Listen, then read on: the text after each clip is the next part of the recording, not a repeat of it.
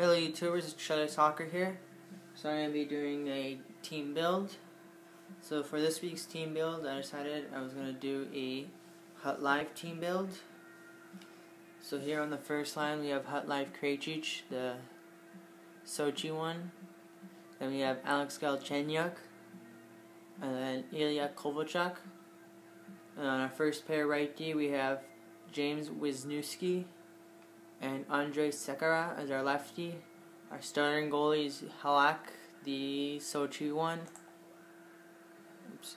And the backup is Martin Jones.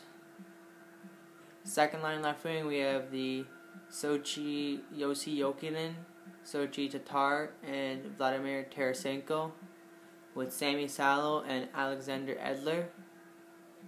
Third line, we have Perron, the Sochi Hudler, I think. Yeah.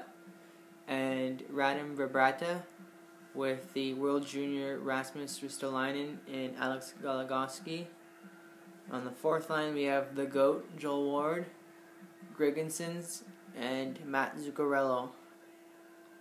So overall, it's a pretty good team. I played a couple games with it. Kovalchuk is a beast. His shot is dirty.